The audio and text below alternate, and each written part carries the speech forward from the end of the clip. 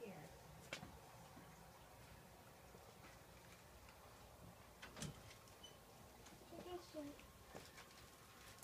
Well, don't be afraid. There's a whole bowl of candy right here.